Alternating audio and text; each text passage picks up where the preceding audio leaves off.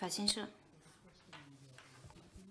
关于菲律宾，菲律宾军方今天表示，中国海警本周登上了菲方的海军船只，中方海警查获了枪支。菲律宾军方表示，这是在仁爱礁附近发生的事，你能否予以确认并提供更多信息？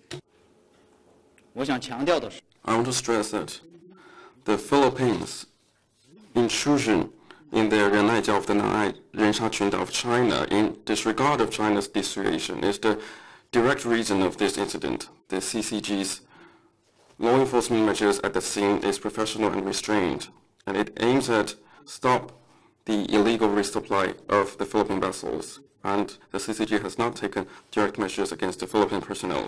The Philippines has once again said what it cares is living materials, but in fact, they are secretly uh, carrying construction materials and even weapons and ammunition in, the, in, an, attempt, in an attempt to occupy the United in the long run. China urges the Philippines to immediately stop infringement and provocations, and China will continue to safeguard its own sovereign rights and interests resolutely in accordance with law. Next question.